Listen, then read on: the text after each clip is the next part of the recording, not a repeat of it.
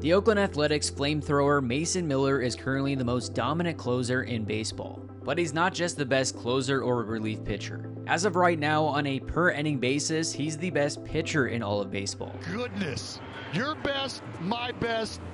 Ding ding. That's the tardy bell, Mr. Soto. We are going to need to see the hall pass. This guy has highlight reel type stuff every time he steps on the mound, and is can't miss TV no matter if you're an Oakland A's fan or just a fan of baseball. His four seam fastball on average is the fastest in the league at 100.7 miles per hour, and he also threw the fastest single pitch on the year at 103.7 miles per hour.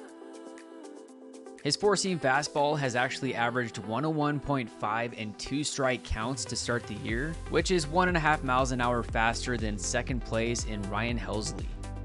His four seam fastball currently has a 50% whiff rate, and that's even with hitters sitting on that pitch as he throws his four seam fastball 59.1% of the time. Yep.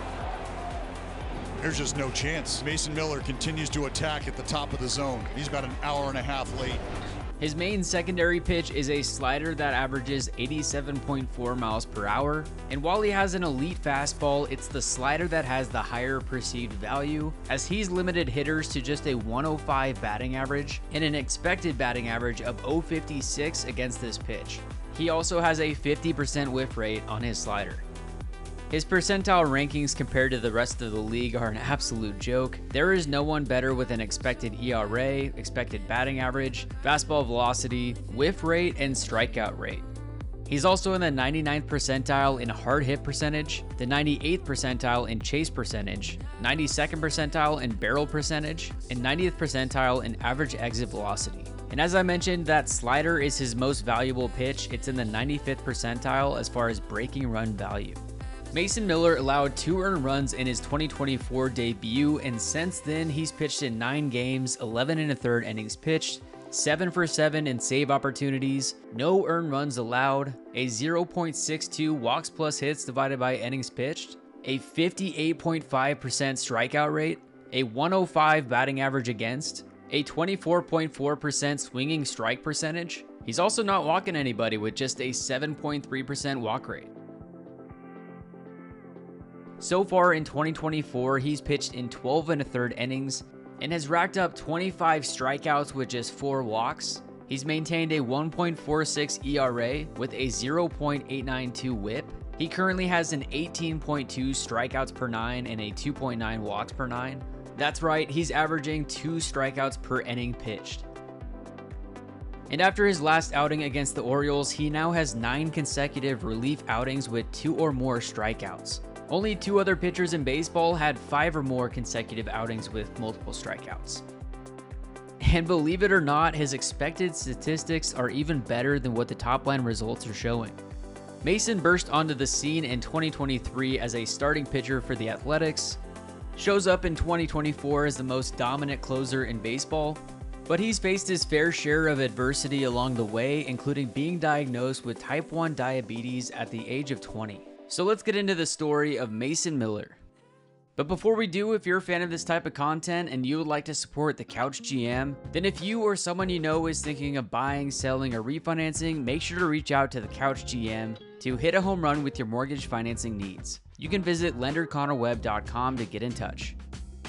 And for real estate, you can connect with former national soccer team member and current real estate standout Laura Schott by emailing lauraschott at windermere.com.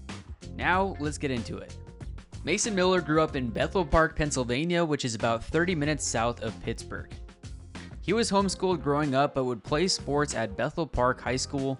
And while he was offered a walk on at a couple D2 and D1 schools, he decided to stay closer to home and attend Waynesburg University. He would say that he always figured his future was finance and not fastballs, and it was his goal to be the first in his immediate family to get a college degree.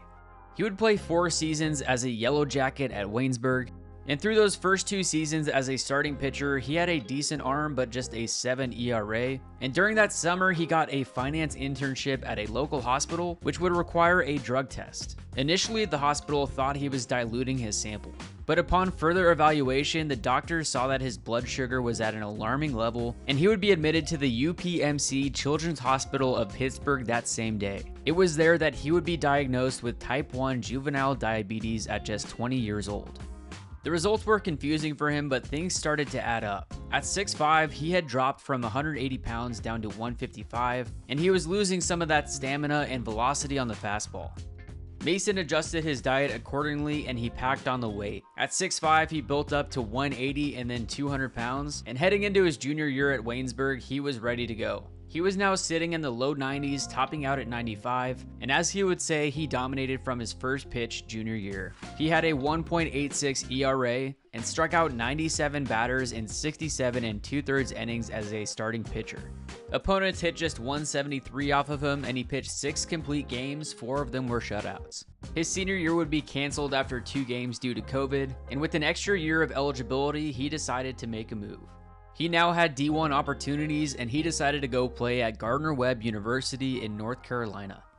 He would impress in his final year in college, starting 14 games, 15 appearances, pitching 92 and two thirds innings with 121 strikeouts to 30 walks, a 3.30 ERA, a 1.11 whip, and an opponent's batting average of 210.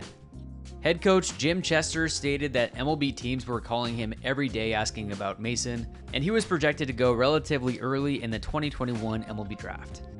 He would be selected in the third round, 97th overall by the Oakland A's, and would begin his relatively quick ascent to the big leagues. Mason only pitched in six games in 2022 across three different levels. He had 14 innings pitched, a 3.86 ERA, and a ridiculous 0.786 whip, 16.1 strikeouts per nine, and just 1.9 walks per nine.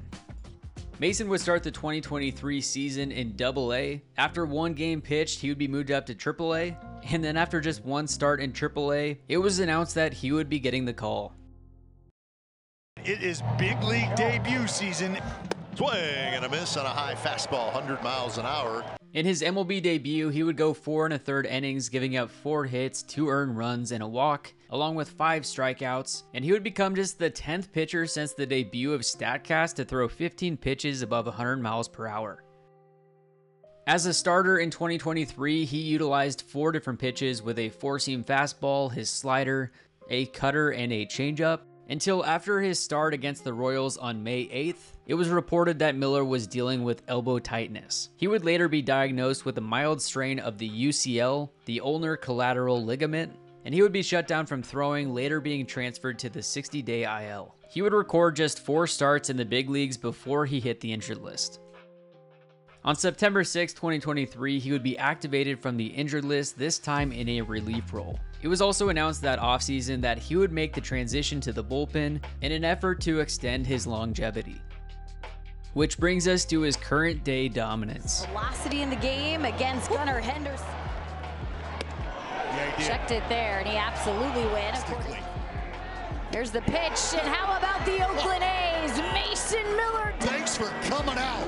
102 all the way by you. Here's a recent outing versus the Yankees in which he struck out Anthony Volpe, Juan Soto, and Aaron Judge with fastballs. And then here's a home plate animation showing just how hard it is to hit this fastball.